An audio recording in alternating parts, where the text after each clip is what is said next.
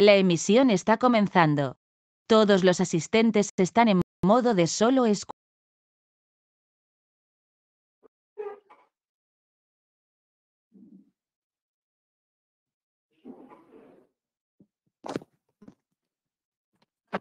Buenas tardes.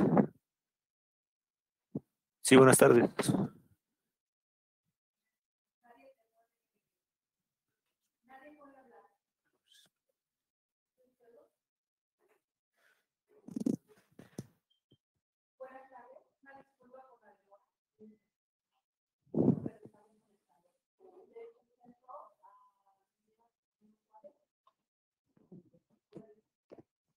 Buenas tardes a todos, muchas gracias por su asistencia y una disculpa por la demora.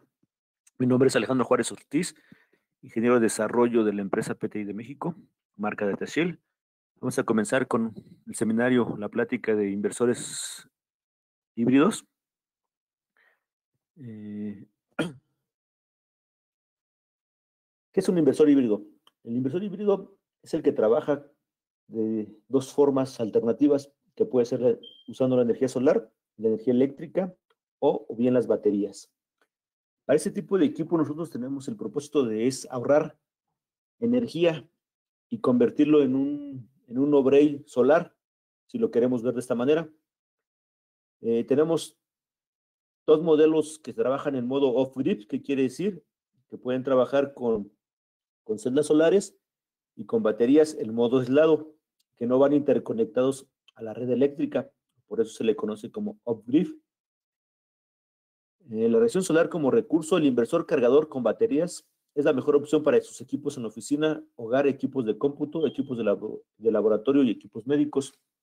En ese diagrama se observa que el inversor funge como cargador de las baterías y así a su vez alimenta la carga con energía solar. Explico un poco a detalle.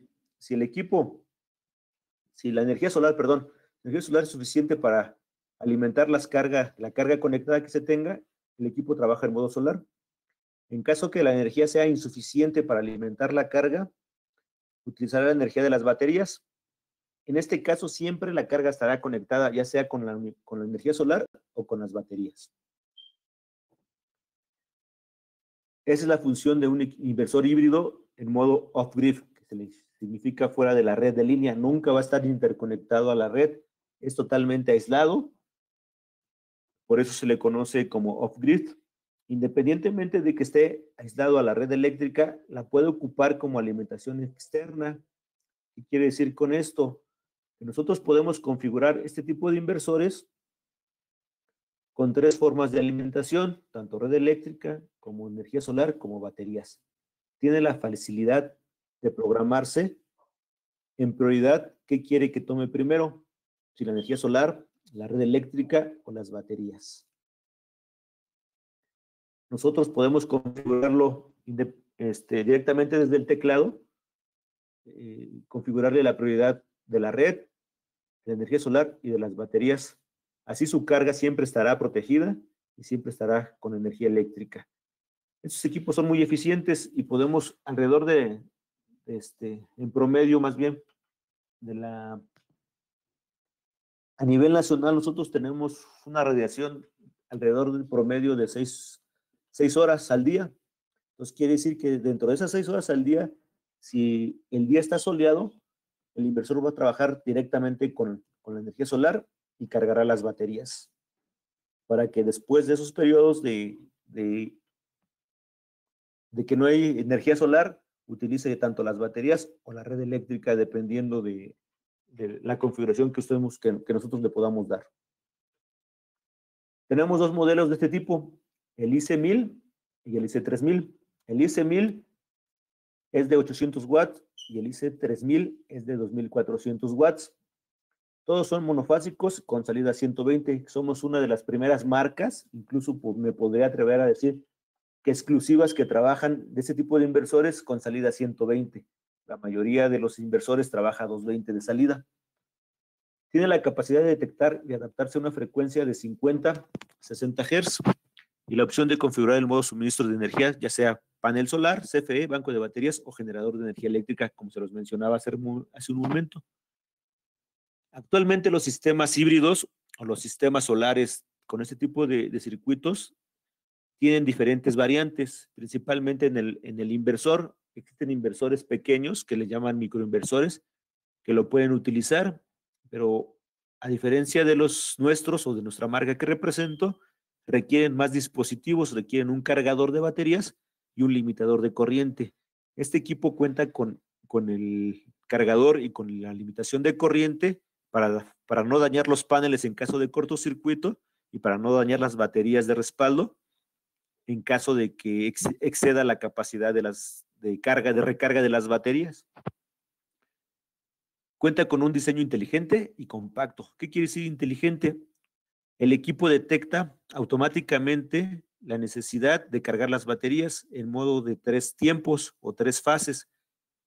Si las baterías están demasiado descargadas o un límite de descarga inferior, les proporciona una corriente excesiva o una corriente importante para recargarlas en un menor tiempo.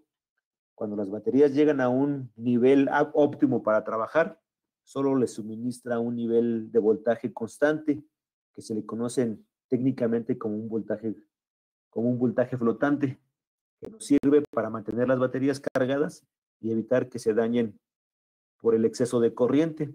Esa es la parte inteligente del equipo. Adicionalmente a eso, pues tiene la capacidad de configurar cuándo puede trabajar con la red solar, cuándo puede trabajar con la red eh, de suministro de CFE y cuándo puede trabajar con las baterías. El equipo de un KBA puede soportar bancos de batería. Bueno, los dos pueden soportar bancos de batería para aumentar el tiempo de respaldo cuando la energía solar sea insuficiente para alimentar nuestra carga o cuando esos seis horas en promedio al día hayan concluido, ¿no? Las características especiales de los modelos que manejamos como híbridos off-grid es que son de onda sinusoidal pura la salida, que principalmente son para equipos críticos como servidores o tipo de cómputo o equipo de laboratorio. Puede adaptarse para una frecuencia en 50 o 60 Hz. Hay aplicaciones especiales principalmente en equipo de cómputo que requieren 50 Hz porque son europeos el equipo puede adaptar una salida de frecuencia a 50 o 60 Hz, todo totalmente configurado por el usuario. Controlador de carga solar MPPT incorporado es la tecnología para recarga de las baterías inteligentes, lo que les mencionaba, en, en los modos de corriente constante para cargarlas lo más pronto posible y en modo voltaje flotante para mantenerlas cargadas sin dañar las baterías. El rango de voltaje de entrada seleccionable para electrodomésticos y computadoras personales. Los electrodomésticos, por ser equipos eléctricos, pueden permitir un rango más amplio dentro del voltaje. Nosotros, a nivel nacional, CFE nos puede entregar un, voltaje constante, en teoría, de 127 volts, lo cual es utópico. Eh, normalmente hay variaciones de, en el voltaje de suministro, entonces los electrodomésticos es más fácil que lo, que lo acepten y lo podemos configurar para que ese rango de voltaje sea más amplio dentro de nuestro equipo. O las computadoras, las computadoras personales o equipo crítico necesitan un, un, rango de admisión o de voltaje de operación más constante. E igual lo podemos configurar para evitar el daño de las computadoras. Por eso es recomendable o es recomendable y decir que nuestros equipos son factibles para tanto electrodomésticos como para el área de TI, telecomunicaciones y equipo crítico o médico. La corriente de recarga seleccionable de alta potencia, ¿qué quiere decir? Nosotros, el equipo de un KBA trabaja con una batería de 12 volts 100 amperios recomendada y el equipo de 3 kVA trabaja con, una, con dos baterías con un bus de 24 volts de 12-100 recomendadas por el fabricante. Ese es lo mínimo necesario que necesitan los equipos para trabajar. Sin embargo, dependiendo de la aplicación o la utilidad que le queramos dar a, a nuestros inversores, necesitamos mayor tiempo de respaldo. Esto se puede alargar con incluyéndole más baterías a cada equipo. El equipo de un KBA le podemos meter hasta cuatro baterías, máximo de cuatro baterías conectadas en serie para tener el voltaje de, de, de operación, que es de 12 volts, y el equipo de 3 kVA, unas dos, 8 baterías que son strings de 2 en 2, para tener el, el voltaje de operación que sería de 24 voltios. Tiene una facilidad de reinicio automático mientras la corriente alterna se está recuperando. Tiene protección de sobrecarga y cortocircuito por medio de breaks de entrada para evitar esos cortocircuitos o esa, esa sobrecarga que puede ocurrir en, una, en un apagón o una falla de energía. Tiene la función de arranque en frío, que quiere decir que solo arranca con las baterías, no necesita la red eléctrica o la red, la red de alimentación de CFE para arrancar el equipo. Tiene la facilidad mediante Wi-Fi, GPRS y SNMP de ser monitoreado vía remota, dependiendo de lo que necesitamos. Ahorita vamos a ver adelante, más adelante, perdón, vamos a ver lo que es, cómo puede ser monitoreado por Wi-Fi, qué es el GPRS y cuál es el SNMP puede ser, pues tiene, la facilidad de crecimiento modular hasta 18 kVA. Cada equipo, más bien principalmente el de 3 kVA, el de 1000, no es factible hacerlo modular, no tiene la capacidad, nada más se aplica para el de 3 kVA.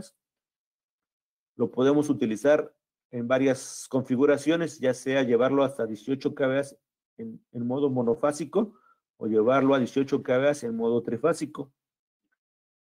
Es un diseño inteligente y compacto tanto del inversor como el del cargador de la batería para optimizar el rendimiento de la, de la misma.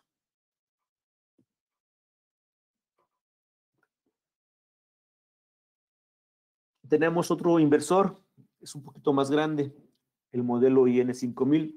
Este, este inversor también se llama, se le conoce como inversor híbrido. La diferencia de este inversor con respecto al 3000 y al 1000 es que tipo on-grid ¿Qué quiere decir? Que este se puede estar interconectado a la red eléctrica.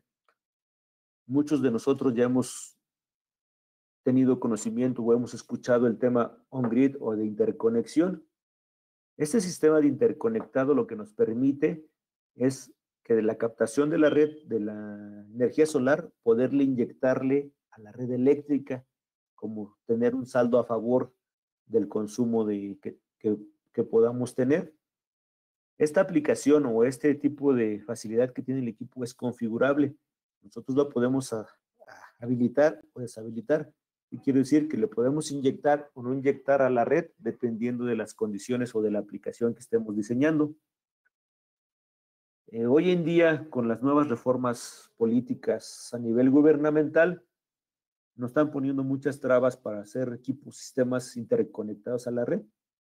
Aunque es el futuro de nuevas tecnologías, eh, parece que nuestra política gubernamental nos está deteniendo en, estas, en este aspecto, dándole oportunidad todavía a lo que son energías fósiles. Entonces, esta es otra ventaja que, tiene, que tenemos con este tipo de inversores. ¿Por qué? Porque les podemos habilitar o deshabilitar esa, esa función. Sabemos que para hacerlo interconectado o de inyección a la red eléctrica, hay un proceso y dependiendo de la, de la, este, de la capacidad que queramos tener para la interconexión, nos, nos piden ciertos requisitos y se vuelve un trámite engorroso. Anteriormente, estoy hablando hace dos meses, era un poquito más factible hacerlo. Hoy hace el anuncio de hace un par de meses que hiciera el gobierno federal, pues tenemos muchas trabas para esa parte, ¿no? Hoy en día las políticas para sistemas aislados menores de 25 kVA no existe ninguna normatividad, ni una regla, ni un impuesto que tengamos que cumplir, siempre y cuando lo hagamos para autoconsumo. En este, en este ámbito entra prácticamente las pequeñas empresas, eh, la parte de hogar y oficinas, y es muy factible para el ahorro y consumo de energía, ¿no? Nosotros actualmente sigue, sigue subiendo el, consumo o el precio de, de la energía eléctrica. Es un, es una aplicación muy factible para pequeños y medianas empresas a nivel nacional, ¿no? Ya sea que sea aislado o interconectado a la red eléctrica. Este tipo de inversor está diseñado para alimentar los productos electrónicos. También puede manejar cargas de tipo motor con alto sobre, poder de sobrecarga, como aspiradoras, congeladores pequeños y taladros. Con el cargador solar integrado puede convertir energía solar en energía de la batería y proporcionar energía continua de los equipos conectados durante la noche. Otra de las diferencias que, tiene este inversor con respecto a los pequeños de 1 y 3 kVA es que trabaja 220. muchos de los motores eléctricos para aplicaciones, tanto servidores o equipo médico, ya vi, son equipos europeos no diseñados para Latinoamérica, que trabajan a 220. Entonces, este tipo de equipos es muy factible para utilizarlo en esos aspectos. Igualmente para sistemas aislados como aplicaciones de riego, rurales principalmente, que trabajan equipos de bombeo a, a 220. Es muy factible para este tipo de, de producto, ¿no? Trabaja de la misma manera, si ven el diagrama, tiene tres, tres entradas.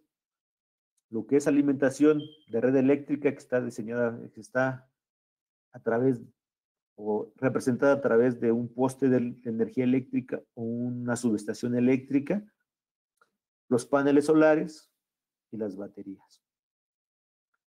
La salida a un centro de carga y las aplicaciones que nosotros queremos conectar de diferentes tipos. Puede ser equipo de cómputo, equipo de comunicaciones, equipo médico, equipo rural, de bombeo, muchísimas aplicaciones que le podemos dar el uso, siempre y cuando trabajen a 220.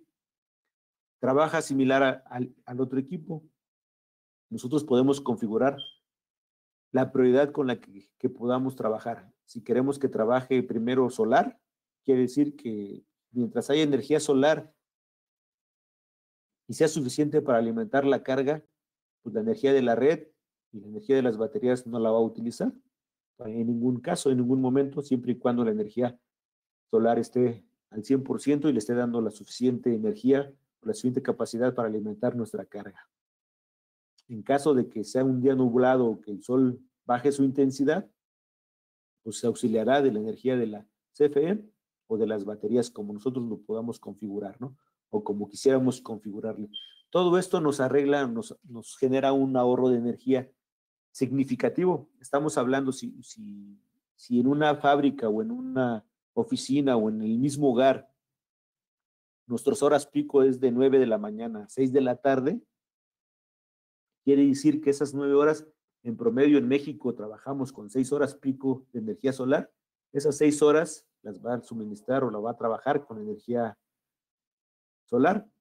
Las demás horas de laborables, en este caso, si son de 6 a, de 8 a 9, de 8 a 6, perdón, 9 horas, 3 horas las va a trabajar con energía de la red eléctrica o con energía de las baterías, como nosotros lo, configuremos, ¿no? Después de las horas no laborables, solo se quedan encendidas las cargas de seguridad, principalmente alumbrado o cámaras de, de videovigilancia, que es un consumo mucho menor, que puede ser absorbido por las baterías o por la energía eléctrica, y esto nos sigue generando un gran ahorro de energía eléctrica ¿no? en nuestro recibo.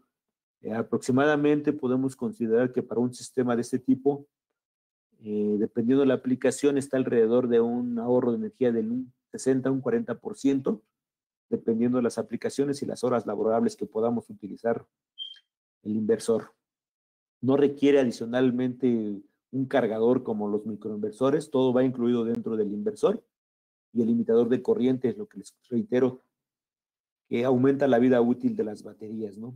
Principalmente el inversor es el, digamos que es el 10% del costo de todo el sistema, pero te ayuda a que tus baterías duren mucho más tiempo, ¿no? O se desgasten menos tiempo. El panel trabaja una vida útil de 25 años aproximadamente. Las baterías para este tipo de productos que las manejamos directamente también en, en DataShield tienen una vida útil de 4 a 10 años dependiendo los ciclos de carga y descarga. Todo va a depender de la aplicación o del uso que les podemos dar a nuestros inversores. Esas son las diferencias entre este y el y los pequeños que tenemos, ¿no? 220 de entrada y que se puede configurar tanto interconectado o no interconectado a la red, que, le, inyecte o que no inyecte a la red eléctrica.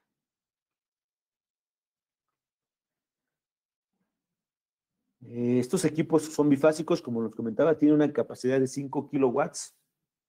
También tiene la facilidad de adaptarse en 50 y 60 Hz y los modos son programables, conexión a la red, fuera de red y conexión a la red sin, con respaldo. Hoy en día todos necesitamos de un tiempo de respaldo suficiente para hacer operaciones. Nos cuesta más el dejar la operación pendiente o dejar un proceso incompleto o a medias que invertirle un equipo con respaldo, ¿no? Dependiendo de la aplicación, nosotros contamos con baterías para darle el tiempo necesario que la, que la aplicación o que nuestro cliente nos pida en este tipo de equipos. Las características principales de los IN5000 es salida de onda sinusoidal pura, autoconsumo y alimentación a la red, lo que decíamos, lo que les comentaba, podemos ser autoconsumo totalmente o le podemos inyectar a la red para tener un saldo a favor. La gran desventaja de esto hoy en día es que el gobierno nos empieza a poner un poquito de trabas con la inyección. Eh, si tuvimos oportunidad de vernos o de ver el tema hace, que les gusta, un año, el mercado de interconexión iba en aumento exponencial. Estábamos hablando, estábamos hablando de, un, de un aumento del 30, del 30% por año. Hoy en día, hace un par de meses que se, que se paró todo lo que es la energía renovable, eh, se detuvo. Y con la situación que estamos viviendo, mucha gente está pasando al autoconsumo, precisamente porque ya la, interconexión está detenida por las políticas gubernamentales, ¿no? Entonces tiene una, hay una oportunidad muy fuerte de trabajar el autoconsumo dentro de, la, de, de las regiones en nuestro país. Aunado a eso es que no tenemos ningún, por el momento no hay ninguna normatividad que nos marque para hacer, este, para hacer sistemas de autoconsumo menores de 25 kilowatts. Arriba de 25 kilowatts ya tenemos problemas, ya tendríamos que meter este, algunos registros ante la CFE para poder hacer instalaciones o sistemas fotovoltaicos mucho mayores, aunque sean autoconsumos, pero por el momento menores de 25 kilowatts este, no tenemos ninguna normatividad. Entonces tenemos ahí la oportunidad de trabajar ese tipo de, aplicaciones que principalmente son de hogar y de oficina, ¿no? Aunado bien, tiene corriente y voltaje de carga de las baterías ajustable por el usuario. Nosotros, dependiendo el tipo y la cantidad de baterías que tengamos, podemos ajustar el voltaje de recarga y la corriente de recarga. ¿Para qué? Precisamente para aumentar la vida útil de nuestras baterías. Tiene diferentes modos de operación múltiples programables, conexión a la red o conectada, fuera de la red y conexión a la red con respaldo. Lo que les comentaba, nosotros podemos configurar directamente desde el panel frontal qué queremos, si queremos conectar la red, si no queremos conectar la red, si, este, si queremos que se, nuestra prioridad sea solar, si fuera red, si fueran las baterías, Toda esa parte es configurable directamente desde la pantalla o mediante el software de monitoreo, como lo queramos realizar, ¿no? Cuentan con un software de monitoreo, para visualizarlo y controlar el estado en tiempo real. Este software nos permite monitorear el, el estado del UPS en tiempo real, tanto lo que le llega de energía de los paneles solares como lo que suministra la carga en tiempos y en horarios. Tiene la operación en paralelo hasta 6 unidades para el modelo de 5 kilowatts, que quiere decir que lo podemos crecer paralelamente de 5, 5, 10, 15, 20, 25 hasta 30 kilowatts, ¿no? Esa es otra facilidad que, que, tenemos. Prácticamente estamos cubiertos con, los, con lo que les comentaba, hasta 25 kilowatts con estas aplicaciones. Es sencillo el panorama o, el, trabajo o la aplicación, el diagrama bloques de lo que, cómo trabaja el equipo. Nosotros tenemos el suministro de, energía eléctrica, los paneles solares. Puede que no haya en un lugar como las minas o como una estación de telecomunicaciones que no exista alimentación de CFE. Puede trabajar con un, con un generador, una planta de luz con banco de baterías. Los tres equipos, las tres familias o los tres modelos,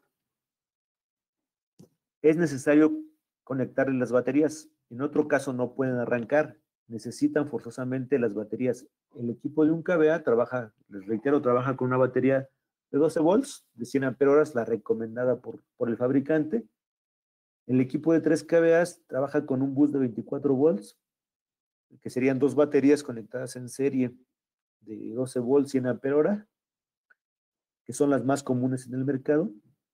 El equipo tiene 5000 trabaja con un bus de 48. Este ya necesita cuatro baterías eh, conectadas en serie para darle la alimentación de, de 48 volts.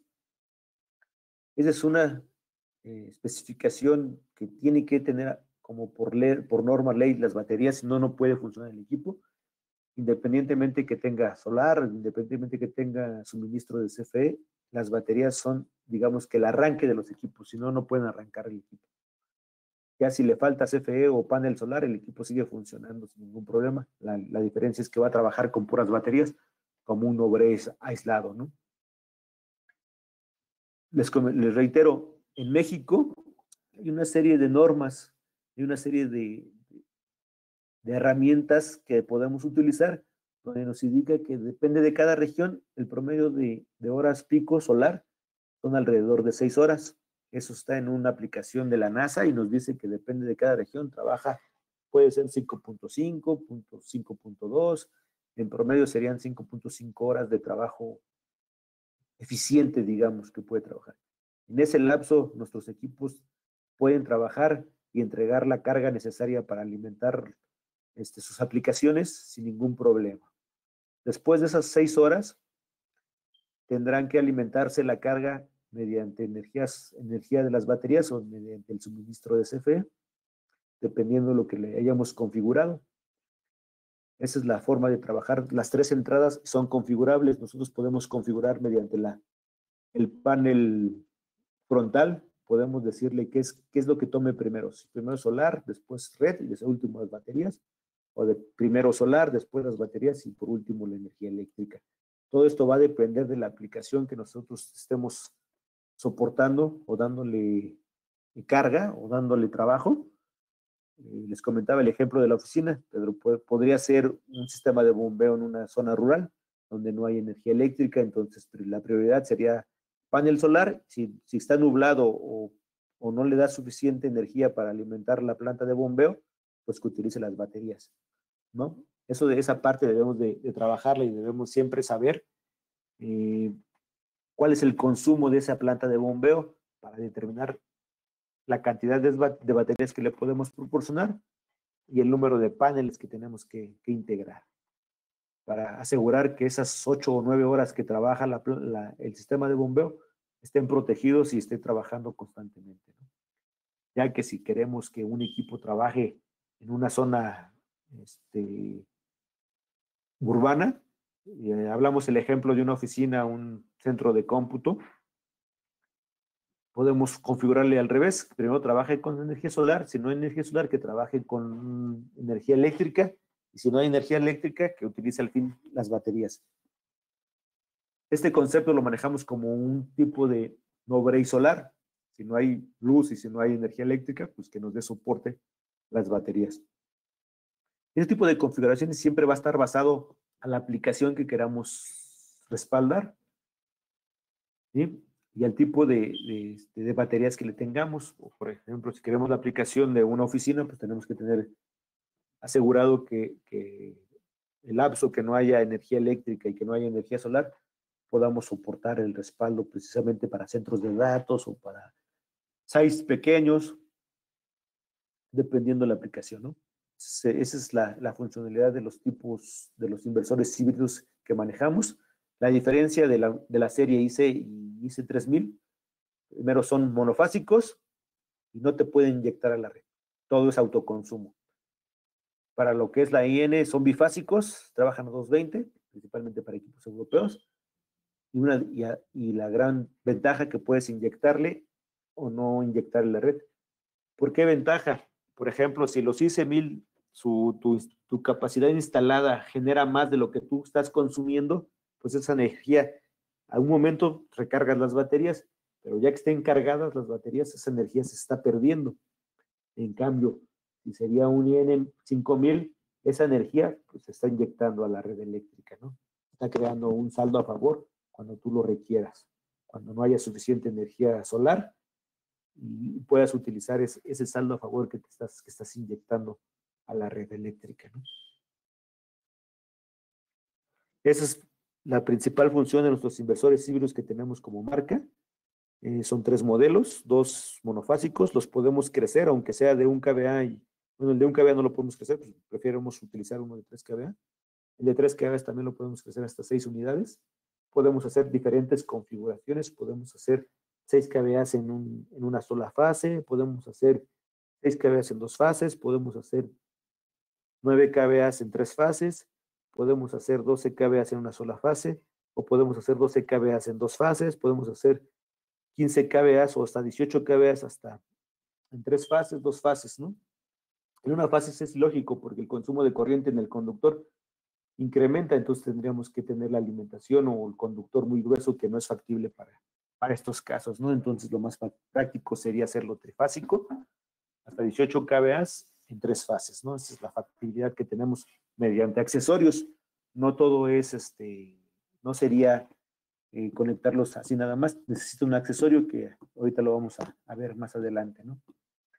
Esas son las, las, inversiones o las soluciones que manejamos como marca de los inversores híbridos solares. Eh, realmente estamos atacando lo que es el mercado de bajo consumo de las tarifas menos de 25 kilowatts, que son que actualmente no tenemos ningún inconveniente normativo, que las podemos generar para autoconsumo y no hay ningún problema jurídico federal que nos pueda impedir la aplicación o la instalación de este tipo de sistemas. También como marca manejamos lo que son las baterías solares de ciclo profundo, selladas libres de mantenimiento, con vida útil de 4 a 10 años fácilmente recargables y con un bajo consumo en el mercado. Hoy en día, la parte importante de un sistema híbrido es que tenga respaldo. Ese respaldo eh, vuelvo a reiterar, es muy importante, no, por tener sol de las 8 de la mañana a las 8 de la noche, ahorita en hora de verano, podemos tener la máxima eficiencia de energía. Todo se basa a la eficiencia de los paneles y a la radiación solar. Les reitero que ese promedio a nivel nacional está, basado en datos de la NASA en una aplicación, y lo tenemos de 5.5 horas o 6 horas promedio a nivel nacional, dependiendo de las regiones. Hay regiones donde manejan el 6 y hay regiones donde manejan menos de 5.5, 5, 4.8. Va a depender de la región solar. Uno pudiera decir que la zona del sureste, por donde ser más, más caluroso el clima, eh, pues digamos que puede ser más efectivo, pero no. Eh, depende de las condiciones geográficas y la parte de la zona del Pacífico es la que nos representa un mayor grado de eficiencia energética solar y la radiación es mucho mejor en, ese, en, esa, en esa línea, por la que podemos tener de 5.8 6 horas al día promedio, ¿no? Eh, hablando de esa parte, la batería que, que, manejamos es libre de mantenimiento y con vida útil de 4 a 10 años. Este tipo de vida va, va a depender de, los ciclos de carga y descarga de las baterías. ¿Qué quiero decir? Que entre más entre a descargarse y a cargarse la batería, la vida útil se reduce o se merma, ¿no? Y otra de las ventajas es que es de fácil mantenimiento. Hoy en el mercado existen baterías, a lo mejor me digan, ah, es que tengo baterías diferentes que me duran, que son para sistemas solares y, y son mucho más económicas, ¿no? Lamentablemente no todas son de libre mantenimiento. Si nosotros montamos un sistema en una línea de transmisión o un repetidor de comunicaciones que está en un cerro donde se accede solamente con cierto tipo de vehículos, este, no le podemos dar mantenimiento a esas baterías. Esas baterías suelen tener válvulas la, como tipo carro, donde tenemos que estarle monitoreando electrolítico, el nivel de electrolítico para tener su eficiencia y su vida útil es mucho menor.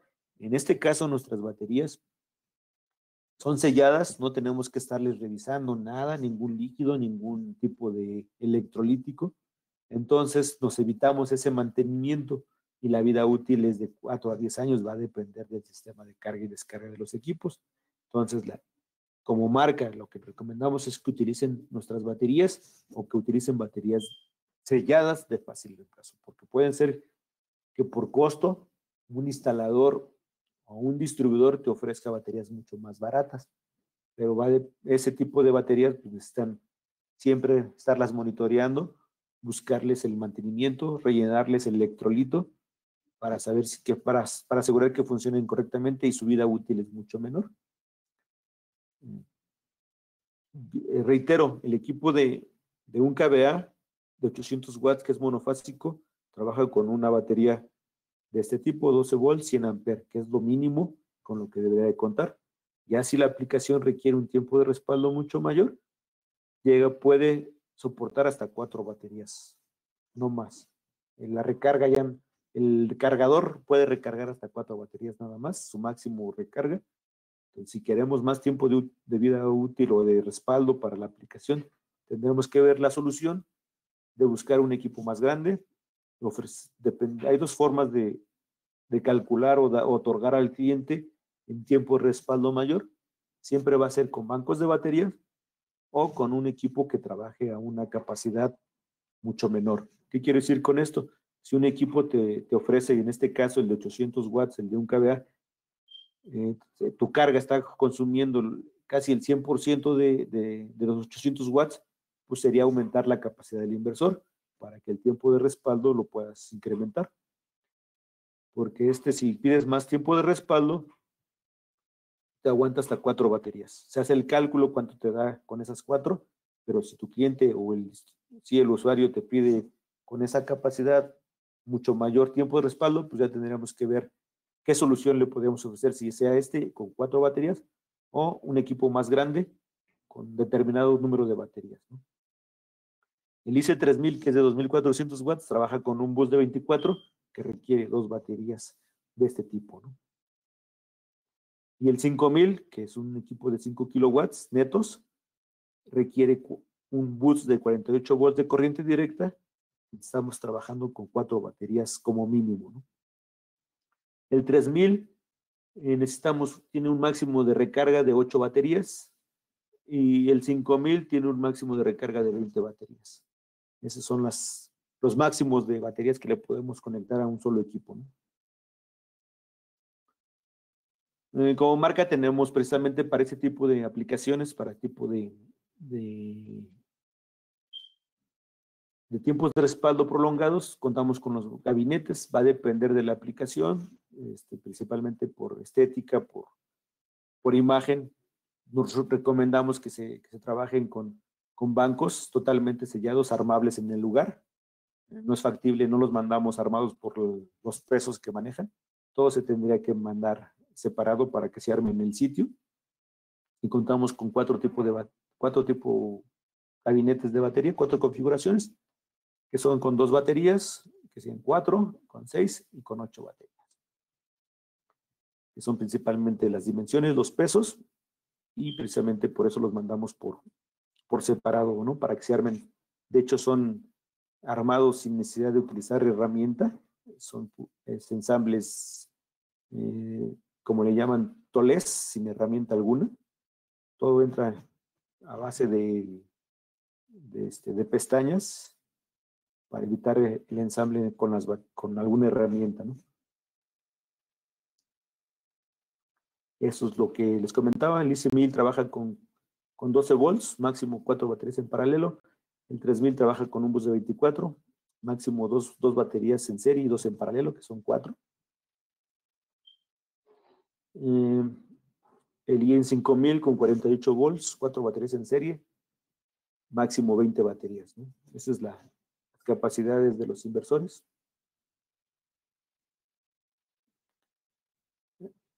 Después viene la parte de los accesorios para este tipo de inversores. Nosotros les comentaba al principio que trabajan con monitoreo SNMP. ¿Qué quiere decir el SNMP? Ese equipo, este monitoreo es a través de una red eh, conectada a un puerto de red y monitoreado localmente. Si el equipo está en el sótano, hablamos de una zona urbana que tengas en un edificio el equipo, le puedes conectar esta cajita que es un accesorio externo mediante un puerto conectado a un un puerto de red RJ45 y lo podemos monitorear mediante la red. Ese, ese tipo de monitoreo puede ser monitoreo y configuración, que quiere decir que lo podemos configurar directamente desde remotamente, desde donde estemos entrando a supervisarlo, ¿no? Este es, un instructivo de guía rápida, cable de 32 para comunicarse con el, dispositivo, eh, la tarjeta de comunicación, el software y algunos jumpers que tiene para, para poderlo configurarlo, ¿no? El reitero, este lo, lo vemos a través de una red local, remotamente, y tiene las dos ventajas, monitorearlo y configurarlo si necesita alguna configuración de parámetros como los, los que les mencioné, este, voltajes de entrada, salida, frecuencia, el tipo de recarga de las baterías, la cantidad de baterías, eh, la prioridad de, trabajo, de sea solar o, o, red, el tipo de recarga, porque tiene dos cargadores, tiene el cargador solar y el cargador de red. Ambos, por, por eso funciona con tantas baterías, porque utiliza, dependiendo la configuración, podemos recargar las baterías con ambas aplicaciones. Eh, les comenté, es un dispositivo administrativo que recopila y almacena información sobre los inversores, el cual nos permite monitorear y configurar remotamente los dispositivos a través de una red local. Son compatibles con el IC1000, 3000, 5000.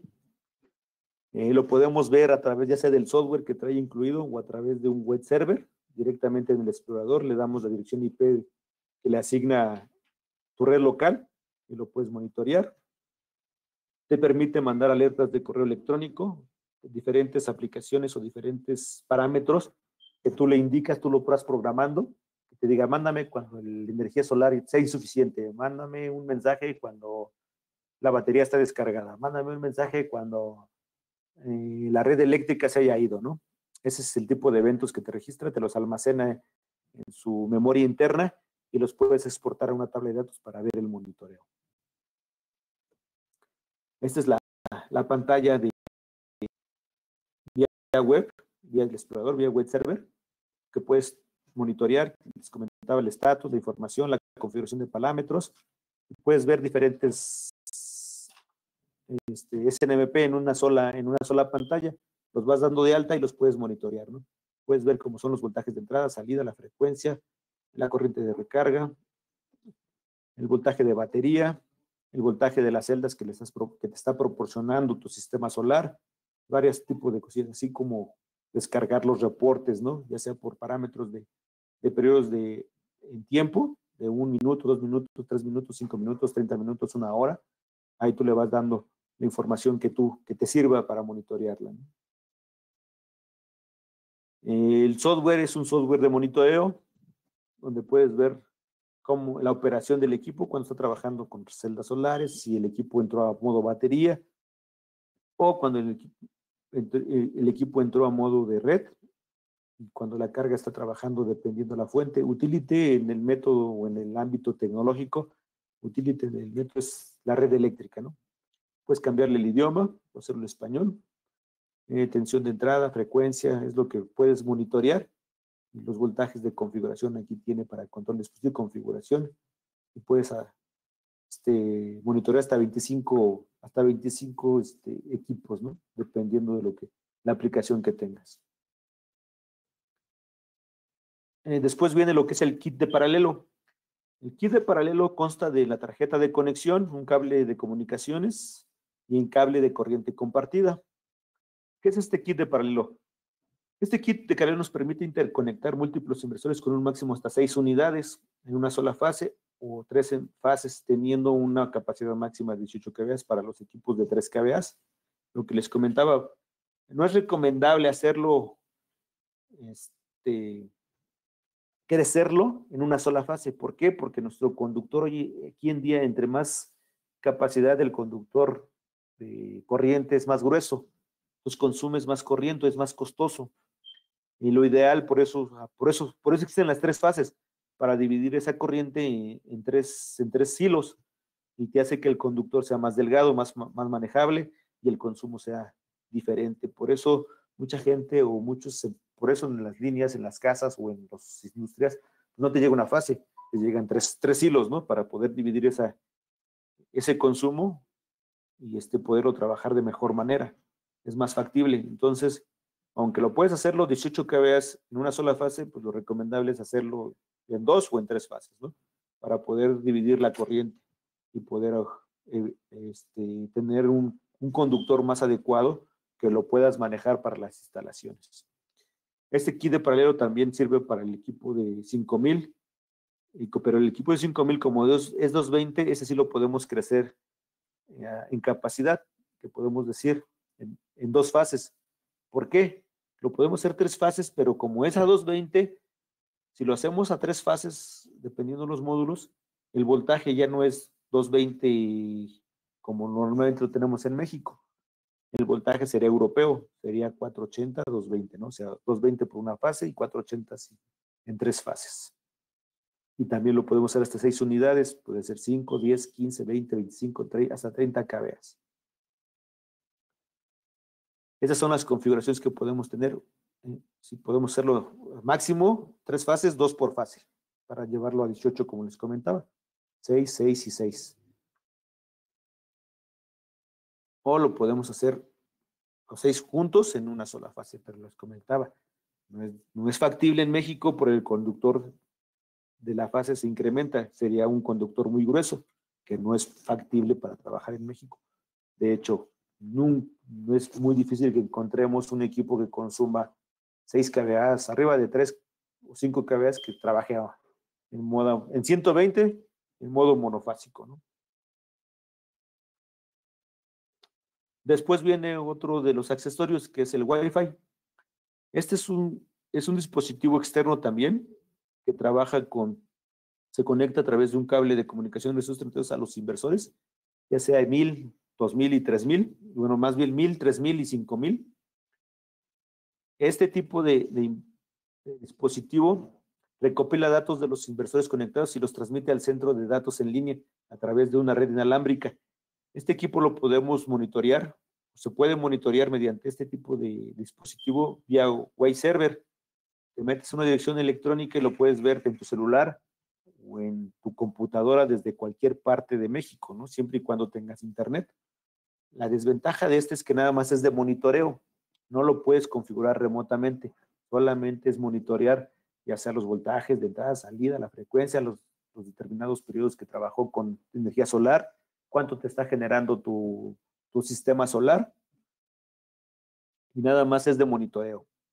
Eh, una de las condiciones es que donde esté instalado el inversor tengas disponible una red inalámbrica para poder configurar el, accesorio, que tú lo puedas ver mediante una dirección IP de, eh, a nivel nacional, mediante tu, ya sea tu dispositivo móvil, teléfono, una tablet, una computadora, y nada más va a ser de puro monitoreo.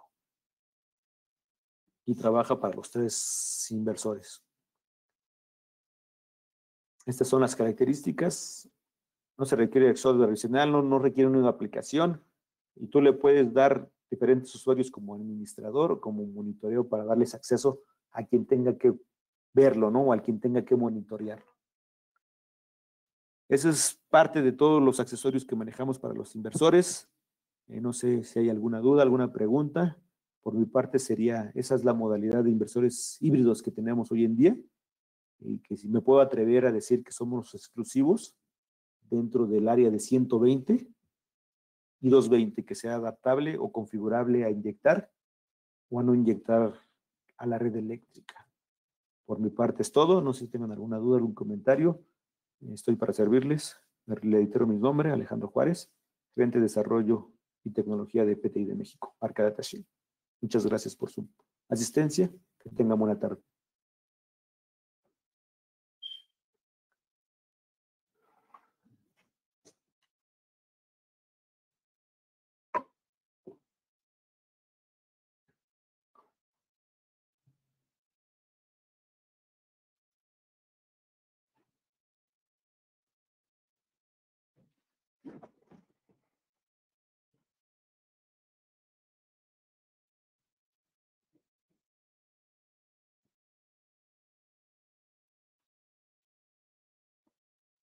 Hay un chingo de güeyes.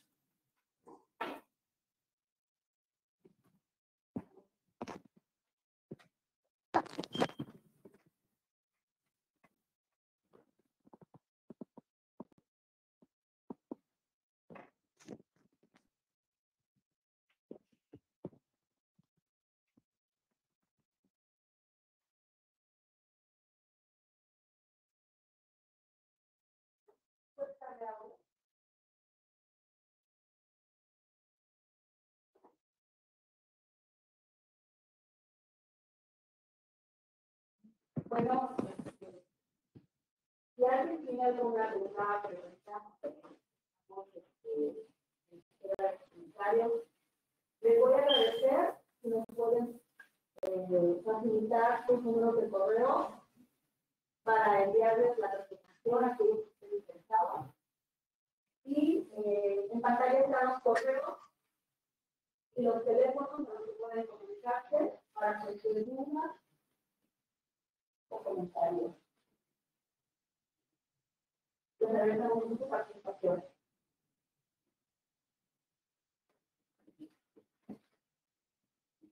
Disculpen por, la- por el audio, pero me dejaron silenciada el, el turismo.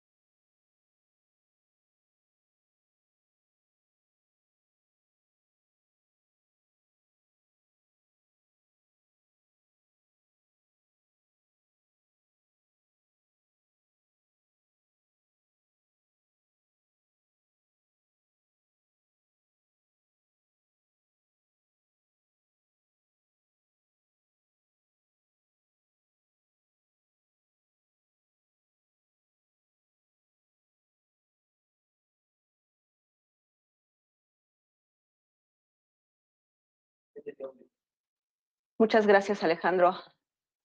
Este, ¿Tenemos algunas preguntas o alguna, algún correo que puedan facilitarnos para mandarles la presentación?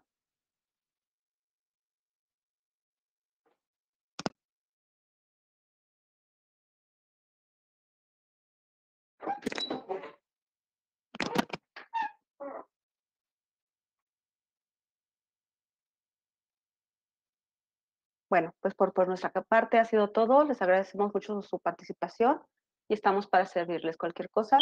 Están nuestros correos y nuestros enlaces con los PMs de CT. Buenas tardes.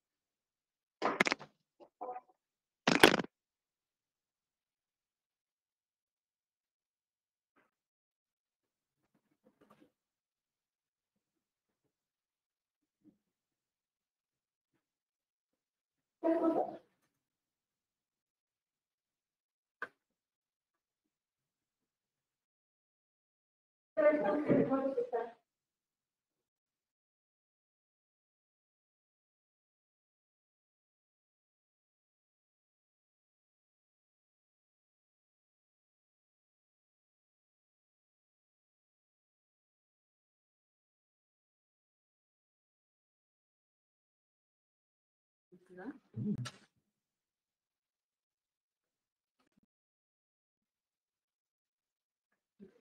Так, есть,